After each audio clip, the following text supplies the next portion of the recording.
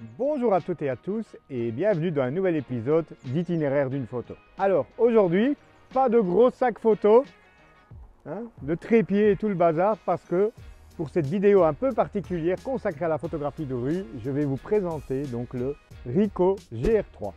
Un tout petit compact qui est vraiment très discret pour ce style de photo où c'est relativement important donc d'être discret. J'étais pas trop convaincu par ce genre d'appareil jusqu'à ce que je suive un stage avec Ovidiu, c'est la roue à Londres. Je vous ai mis le lien en description si vous voulez aller voir. Et lui, il n'utilisait que ça et franchement, il sortait des super photos. Donc ça m'a convaincu et j'en ai acheté un. Aujourd'hui, je vais vous faire un test donc sur le terrain dans les rues de Bruxelles. Si je suis actuellement à Nederoverenbeek et là on s'apprête à prendre le tram et on va donc aller dans le centre de Bruxelles pour pratiquer de la photo de rue avec ce Ricoh GR3. Alors cette vidéo va être divisée en quatre parties. Donc dans la première partie je vais vous montrer les possibilités de customisation des touches de ce boîtier, ce qui est vraiment très important pour y accéder rapidement. Ensuite, dans une deuxième partie, je vous montrerai donc les réglages en mode manuel, la vitesse, etc. que j'utilise en photographie de rue. Dans une troisième partie, je vous montrerai les possibilités d'autofocus et particulièrement du snap focus, une des particularités de ce boîtier qui permet donc de faire la mise au point à une certaine distance prédéterminée. C'est vraiment très utile dans ce style de photo pour shooter par exemple à l'aveuglette. Et la quatrième partie, ben, vous l'avez compris, on va se retrouver sur le terrain où vous me verrez donc mettre en application tout ce que je vous expliquerai avant. Alors, pour la première partie, on va se retrouver à l'intérieur car ce sera plus facile pour moi vous expliquer les réglages du boîtier. On se retrouve après le générique.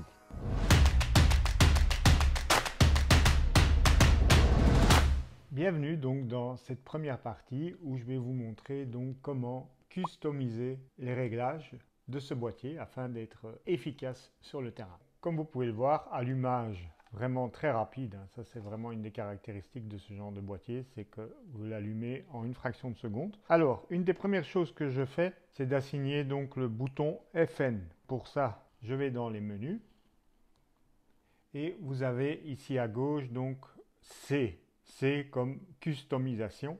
Et donc, c'est là que vous allez pouvoir régler toutes les choses importantes que je vais vous montrer à présent.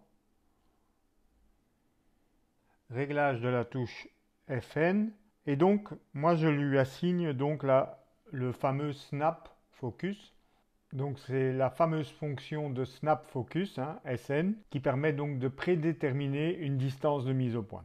Donc, je vous expliquerai, vous le verrez dans la partie 2 de la vidéo. Mais donc, euh, voilà, j'assigne euh, la touche Fn à cette fonction. Je vous montre. Donc, si j'appuie sur Fn, vous voyez, en bas est marqué Sn ou pas SN. Donc là, c'est l'autofocus euh, normal à ce moment-là. Mais donc quand je suis en mode snap focus, donc c'est une certaine distance que vous voyez affichée en haut ici, qui est actuellement de 5 mètres, mais que voilà, vous pouvez réduire à par exemple ici 1 mètre. Et du coup, vous voyez que le trépied de ma lampe ici est en focus.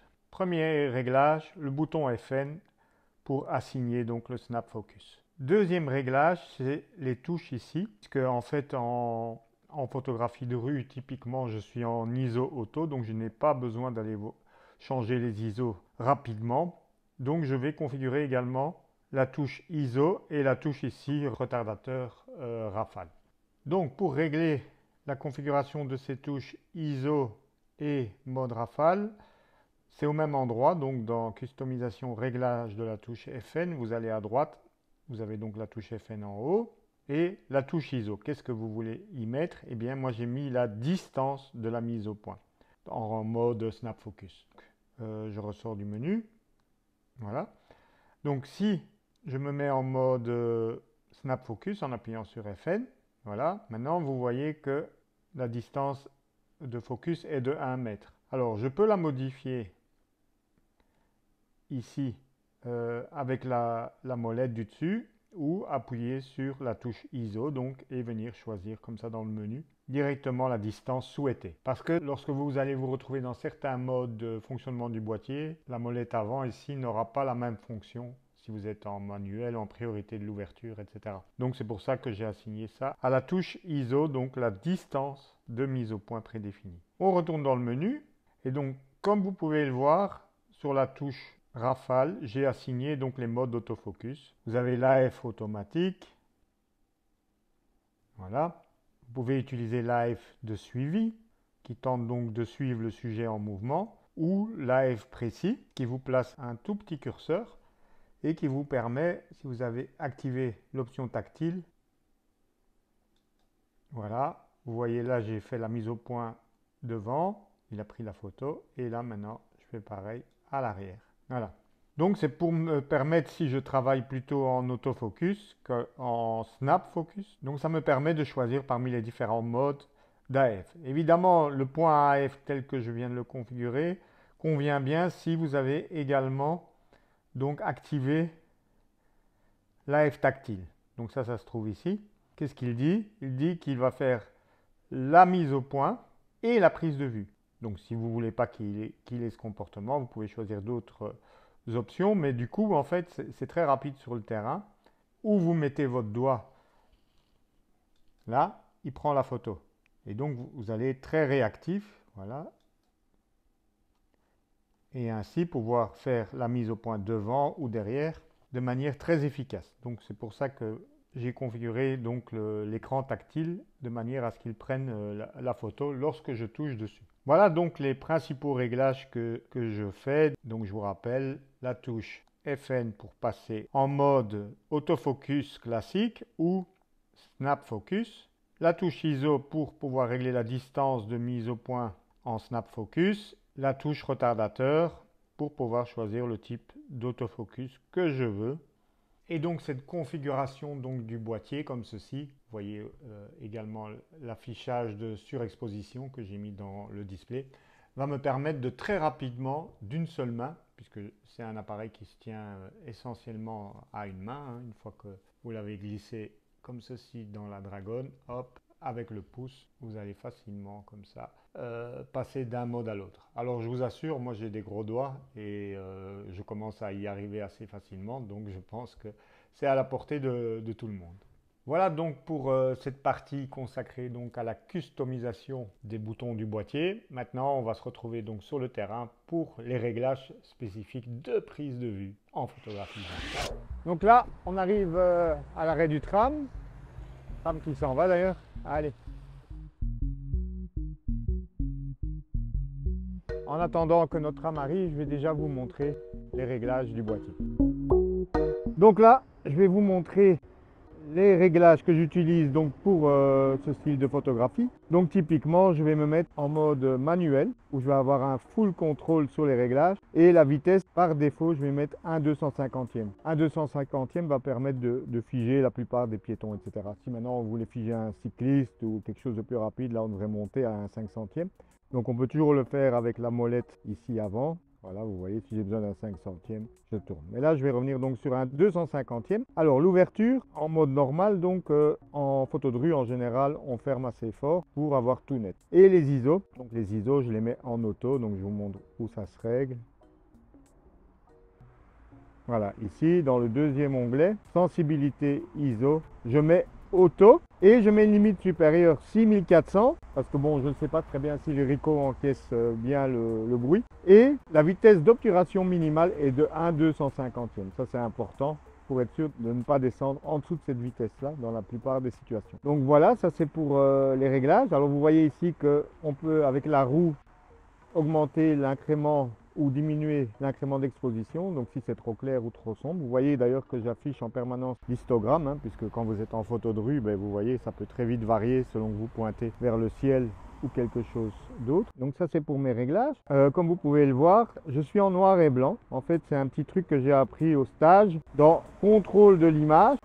Vous voyez, vous pouvez avoir donc euh, en couleur, mais vous pouvez aussi choisir, voilà, moi j'ai choisi Art black and white. Donc là, c'est vraiment du très contrasté, ce qui convient bien en général à ce type de, de photo de rue. Mais rassurez-vous, on shoot en RAW et donc de toute manière, vous aurez les couleurs dans votre image. C'est juste en fait pour pouvoir pleinement se concentrer sur la lumière dans ces compositions. Et donc évidemment, je vais surveiller les ISO hein, en permanence. Donc si je vois que ça monte trop vers 6400, je dois ouvrir un peu plus. Hein. Il m'arrive d'utiliser par exemple f2.8 en situation de faible luminosité et éventuellement baisser légèrement la vitesse. Ça vous permet de maintenir des ISO euh, acceptables. ok? Mais donc ici par exemple à 2.8, vous voyez je suis à ISO 160, ça c'est tout à fait bon. Maintenant si je ferme à F8 par exemple ou F9, là vous voyez je suis à 1600. 1600 ça semble assez correct, donc pour cette luminosité ici, c'est le bon réglage. Alors, comme je vous avais montré dans la première partie, donc en appuyant sur le bouton FN ici, en fait vous pouvez switcher donc en priorité à distance instantanée ou en mode complètement manuel. Quel est l'intérêt? La priorité, donc le snap focus comme il l'appelle, vous permet en fait de prédéterminer une certaine distance de mise au point. Donc vous pouvez voir ici, la, mise au point a été faite à 3,50 m. Ce qui veut dire en fait que quand je vais pointer, peu importe par où je pointe en fait, voilà, vous voyez tout est net. De un peu moins de la moitié de 3,50 m jusqu'à l'infini. Donc ça c'est un réglage qui vous permet juste donc de pointer et shooter. Hop, clac. Vous voyez Hop, clac. Vous n'avez pas besoin de faire le focus parce que l'appareil est pré-réglé à une distance de focus prédéterminée. Cette distance, évidemment, vous pouvez la modifier ici avec la molette avant. Voilà, donc elle est de 3,5 m, mais si votre sujet est très proche, par exemple il est à 1 mètre, vous pouvez euh, du coup euh, vous mettre de 1 mètre à 5 mètres. Alors 3,5 m en général est la distance la plus appropriée en photo de rue, puisque si vous avez voilà, un sujet lointain comme ceci, voilà, euh, vous êtes certain qu'il est en focus. Mais par exemple, si le sujet est plus proche, comme ici par exemple, voilà, hop, clac, voilà, vous voyez là j'étais à plus ou moins 1 mètre, 1 euh, mètre 50 du sujet et là du coup il est net. Donc ça, comme vous pouvez le voir, c'est un réglage qui va vous permettre de shooter sans devoir faire le focus. Donc si vous devez shooter à l'aveuglette, vous faites comme ceci, clac, hop, clac, et donc vous savez que ça va être net. Je vous montre, voilà. Bon, vous voyez, je zoome, regardez, les sujets sont nets malgré que je n'ai pas regardé du tout à la prise de vue. Bon là c'est un peu raté, mais vous avez compris le principe. Par contre, vous pouvez aussi être plus précis en mise au point. Donc si vous voulez, vous pouvez utiliser aussi l'autofocus. Donc il y a deux méthodes principales. Il y a la méthode 1 du snap focus et 2 la méthode donc de la mise au point en autofocus. À noter, quand vous appuyez à mi-chemin, c'est l'autofocus qui va se déclencher. Donc je vais désactiver le snap focus, priorité distance instantanée. Vous voyez ici, c'est activé, SN, snap, et là c'est désactivé. Donc maintenant, il y a marqué 1 mètre. Alors si maintenant je veux changer ça, comme je vous avais montré, j'ai configuré mon bouton ISO pour pouvoir choisir la distance. Et maintenant, je vais prendre par exemple 3 mètres 50. Et donc maintenant, même si je suis en autofocus, donc je vous montre, là je vais choisir un mode autofocus automatique.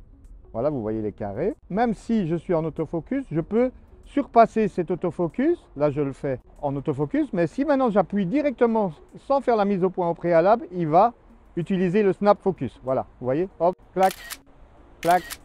Il n'a pas fait le focus. Le fait d'appuyer complètement sur le bouton déclencheur en une fois va déclencher avec la distance pré-réglée. Donc je vous rappelle, quand j'ai personnalisé les commandes dans la partie 1, j'ai personnalisé ici ISO pour régler ma distance et ici à droite, le bouton retardateur rafale, je l'ai personnalisé pour choisir un mode d'autofocus. Vous voyez tous les modes d'autofocus ici disponibles.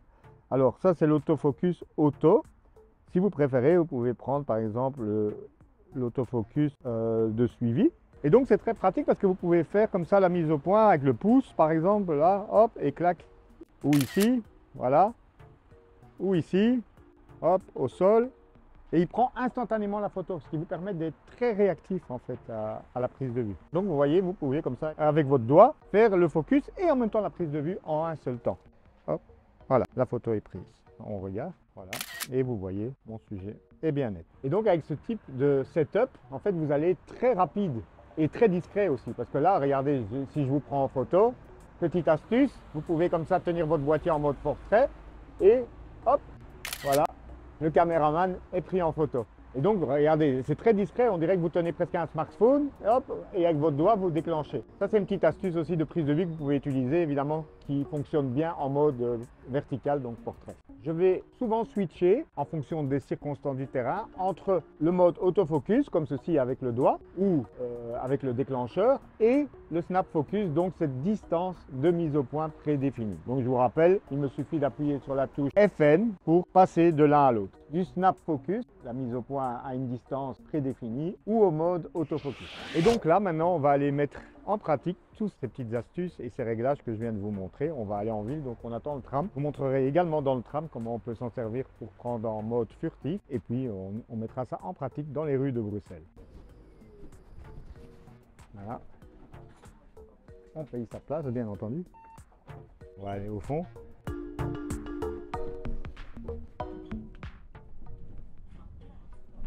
Donc là, par exemple, vous voyez, on est dans le tram. Là, je vais plutôt privilégier un mode de distance proche. Donc, je vais me mettre, par exemple, à 1 mètre, 1 mètre 50. Je corrige l'expo. Je vais ouvrir un peu plus pour pas trop monter en ISO. Corrige l'expo. Donc là, je vais me mettre à 1m50. Donc vous voyez ici l'échelle de profondeur de champ. Donc tout ce qui est en deçà de la moitié d'un mètre 50, donc 75 cm jusqu'à l'infini doit être net. Alors par contre la vitesse est trop faible, donc ce que je vais faire, c'est je vais ouvrir un peu plus. Voilà. On va se mettre à 2.8, 1m50. Voilà, on va faire un petit test. Hop, clac, bien net. Vous pouvez le voir ici. Voilà, 1m50. Donc là, vous voyez, on est pré-réglé sur 1m50. Alors euh, maintenant, il suffit qu'il y ait un sujet à cette distance-là et donc tout sera tout net. Donc là, j'ai un, jeune homme qui me filme avec son téléphone. Je le prends en photo et donc on va vérifier s'il est net. Voilà, parfaitement net. Ce jeune homme.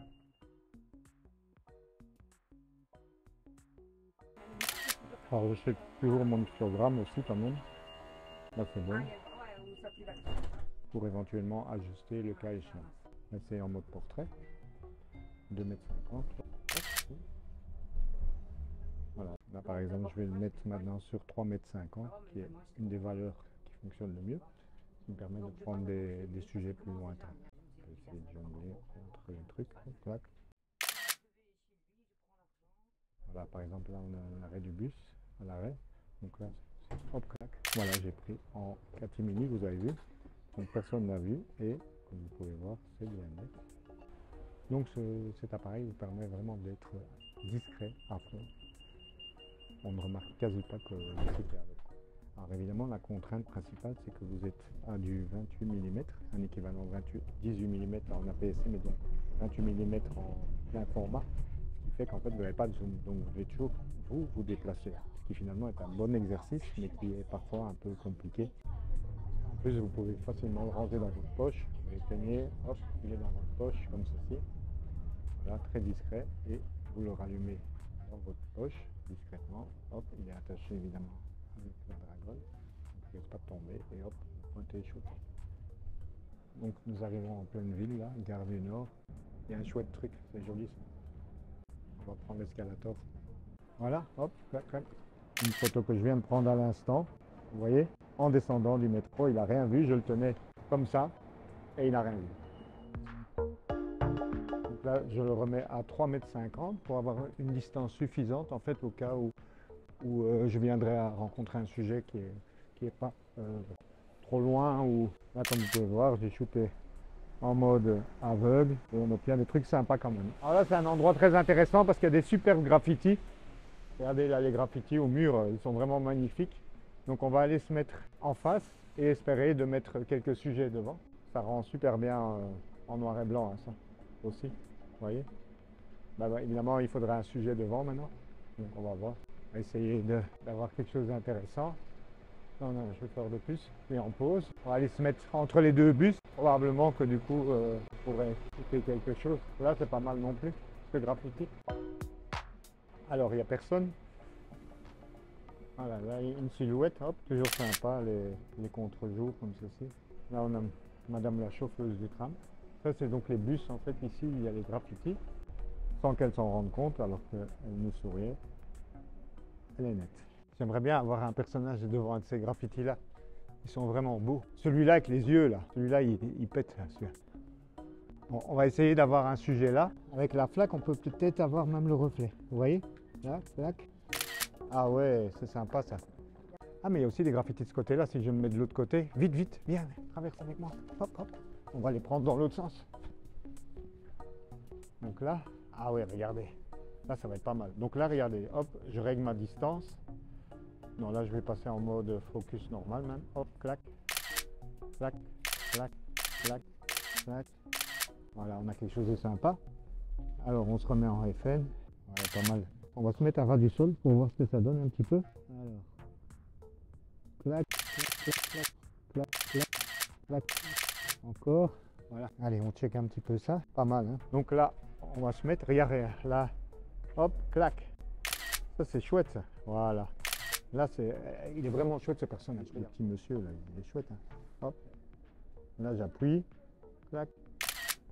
Voilà. Hop, clac. Clac. Clac. Voilà, ça, c'est des belles scènes. Là, il y a, les personnages, ils passent tous de ce côté, en fait. Là, on va essayer avec le bus qui passe devant. Hop. Ah là, c'est raté. En fait, tous les gens passent de ce côté-là, en fait.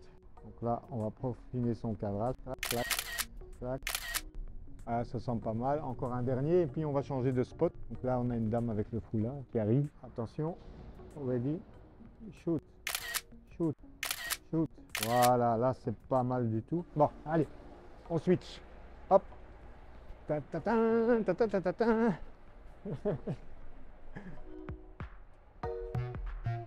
Donc là, on va essayer un peu en mode portrait, comme je vous ai montré, avec le live. Quoi. Donc là, je le tiens comme ça, en mode portrait, comme un smartphone, vous voyez.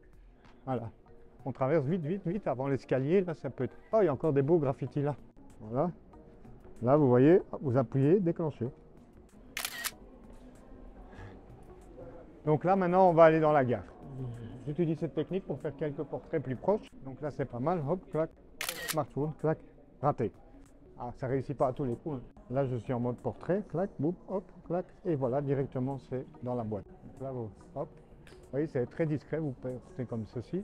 Et puis, on va monter l'escalator, voilà. Là, on est dans la gare du Nord. Voilà, je règle la distance, FN, euh, moins de 5 mètres, 3 mètres 5, 2 mètres 5, hop, voilà, hop, clac, un petit bisou. Un petit bisou d'amoureux. allez, par où on va maintenant? Un couloir, allez. On est en pleine gare du Nord ici. Il y a blindé de passage, évidemment. On peut essayer aussi la ras du sol, évidemment, c'est plus compliqué. Mais vous avez le monsieur ici, par exemple, qui regarde son téléphone. Voilà. Hop, on regarde. Et voilà, regardez. Nickel. Et tout est net. Parce que là, vous voyez, je suis en mode réglage sur 2,50 m avec le Snap Focus. Voilà, de nouveau ma technique, machin comme le smartphone, hop, clac, et prise de vue, avec une belle ligne diagonale en plus. Je me suis mis, je vais me mettre à 3,50 m. 2,50 m ici me semble être une meilleure distance puisque les sujets, je déclencherai. Ça, c'est pas mal, on voit les gens qui marchent. Donc forcément, euh, quand quelqu'un va marcher, ben voilà. Ah, zut, on a quelqu'un dedans. Voilà, qui a l'air tout, tout surpris d'être pris en photo. Très chouette. Ça pète la photo de. Allez, on va essayer encore une ici avec les personnages. Je vais essayer donc de prendre ça comme ça. En fait, là je sais pas reculer plus malheureusement. Bon là je déclenche, on verra ce que ça donne. J'appuie sur display, c'est sympa. Toujours vérifier l'histogramme également. On va aller voir par là. Donc là je suis en hyperfocal 2m50. Je vais augmenter un petit peu parce que là les sujets sont un peu plus lointains. Donc là je vais me mettre même, euh, voilà par exemple 5 mètres pour prendre à distance. Bon, ici, c'est pas terrible. Ah là, là, le couloir, vous voyez, il y a une, ouverture de lumière, c'est intéressant ça. Donc, on va aller se placer à une certaine distance, style 5 mètres. On va voir si on peut utiliser les lignes directrices, par exemple ici. Donc là, par exemple, c'est pas mal. On a, on a une ligne directrice ici. Voilà, vous voyez, un sujet. On va essayer d'avoir un sujet au milieu. On va essayer d'en avoir que un, hein, parce que là, c'est un peu trop. La cafouille. Là, il y a un peu trop de monde. On va aller carrément à ras du sol. Le problème, quand on veut qu'un, il y en a, il y en a 10 en même temps. Voilà, là, là, idéalement, bon, là, on a un coup. Voilà, là, c'est pas mal, vous voyez Là. Voilà, là, c'est pas mal du tout. Là, c'est trop près, vous voyez 5 mètres, c'est la, distance maximale. OK voilà, mais là, le problème, c'est que vous avez les deux sujets qui se confondent, il faut en avoir qu'un. Allez, on va plus loin. On se remet sur style 2 m 50 pour faire du, du plus proche, en fait. Donc là, ça nous permet, par exemple, voilà, hop, de prendre le monsieur qui est en train de fumer. Voilà, c'est un peu raté. Où on est ici? Ah, les pigeons. Pour un morceau de pain. Allez, une petite photo. 2,50 m, on va s'approcher. On va voir s'ils s'envolent. Ah, ils ont même pas peur. Hop. Qui sera assez courageux?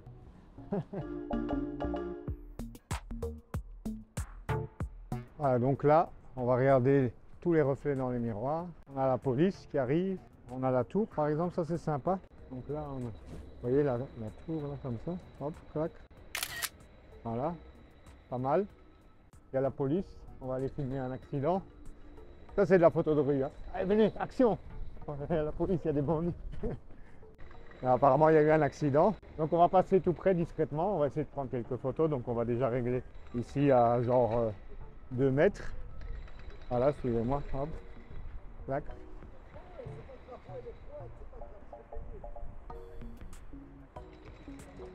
Non, mais Venez, on passe par ici. Donc là, c'est action, hein, vous voyez. On se remet sur 5 mètres. Donc là, hop, clac. Voilà. Là, on a une longue allée. Donc là, par exemple, là, je fais comme avec mon smartphone, clac. Voilà. Là, c'est bien, voilà. Voilà, là, on a des sujets intéressants qui arrivent. Madame avec son chien, hop, le chien qui pisse. Allez, hop, il va lever la patte. Non? Oui, non, non, oui, hop. Voilà. Par exemple, voilà. Là, on a une belle flaque. Là, par exemple, quand vous voyez comme ça une flaque, ça peut être intéressant pour prendre le reflet. Donc là, je vois qu'il y a des gens qui vont arriver. Donc, je vais déjà me positionner. Voilà. Et ça va faire double. Il faut que moi, je me cache du reflet. Évidemment, mon cinéaste aussi. Voilà, clac. Ça, c'est pas mal. Alors, je suis à 2,50 m. Je vais mettre 3,5 m. Évidemment, on me voit. Ce qui n'était pas une bonne idée. Quelqu'un qui arrive Ouais, c'est bon. Hop. Voilà. Donc là, on va voir si on a quelques trucs sympas. Ah, c'est pas mal là, il me regarde en plus. Là, c'est pas mal là, vous voyez. Il me regarde. Donc ici, par exemple, voilà, si vous collez le truc à la vitre, hop, clac. Vous voyez, en fait, là, on voit le reflet, en fait, double. Bon, là, il n'y a plus de passant, attendez, on va attendre un passant. Donc, quand vous voyez des vitres comme ça, n'hésitez pas à aller chercher, voilà, voilà, comme ça, regardez. Bon, là, il, il passe trop loin, mais quand il passe tout près, comme ça, de la vitre, ça, ça donne vraiment bien. Je crois que je les ai eus, voilà. Vous voyez, comme ici, par exemple. Vous voyez, du coup, ça dédouble, c'est sympa. En aveugle. Complètement en aveugle. Vous voyez, le fait d'être en mode snap focus, ça vous permet de shooter comme ça. Viser, shooter. Viser, shooter. C'est vraiment le, le principe même, la philosophie de, de ce boîtier. Là, on a par exemple ce beau reflet. On va voir si quelqu'un approche suffisamment de la vitre. Donc là, je suis en mode 3,50 m, ok. Là, on va se mettre plutôt 5 mètres. Hop, tac. Voilà, plus proche. Voilà. Voilà, là, on va arriver au centre-ville, à Roger. Voilà, là par exemple, je vais tenter cette dame-là. Vous voyez, regardez. On va essayer la vitre. Donc je colle à la vitre. Hop, et clac, clac. Ah, le problème, elle s'est confondue dans le poteau. Donc il faut un peu de séparation. Ah, pas mal ça. Je l'ai eu juste quand elle sortait. Donc là, on arrive dans le futur. hein. C'est la place Rogier à Bruxelles.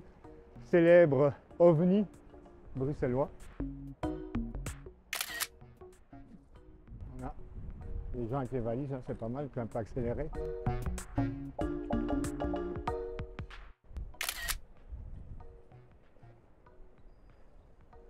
Très graphique ici, hein, avec tous ces diagonales. Très chouette. On va, suivre quelqu'un dans, un escalator. On va voir ce que ça donne. On va descendre et remonter. Voilà, là, on a un sujet potentiellement euh, intéressant. Donc, euh, on, va, garder un peu de distance. Voilà. Et puis, on va le suivre. Voilà. Voilà, ici, on a une très belle perspective, hein, par exemple. On a une belle architecture. Regardez, en haut. C'est Roger. Il faut regarder évidemment dans toutes les directions parce que vous pouvez avoir des trucs intéressants comme ceci. Voilà, il faut aller chercher parfois les angles en diagonale. Là, comme ceci, regardez. Là, hop.